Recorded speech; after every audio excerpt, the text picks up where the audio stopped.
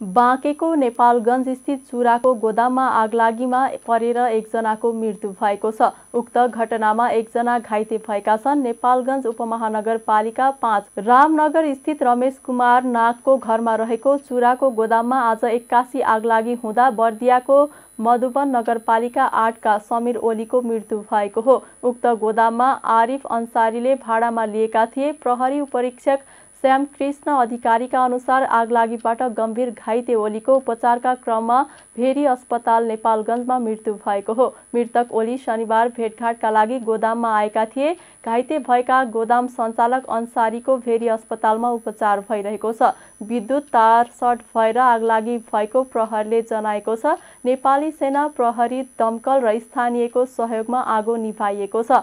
आगलागीबाट करिब रु बयालिस लाख बराबरको क्षति भएको प्रहरले जनाएको छ।